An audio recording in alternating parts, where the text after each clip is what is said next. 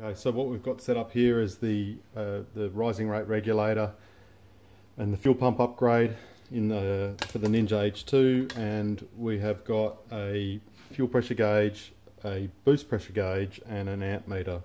I've set the base pressure, I'm applying boost with a, a just a syringe and I've set the base pressure at 55 psi. I'll just turn the pump on so you can see there's 55 psi on the gauge. If I apply 5 pounds of boost, 60, 65, 70, 75, 80, 85, 90 pounds of fuel pressure at 35 pounds of boost, 13 and a half amps.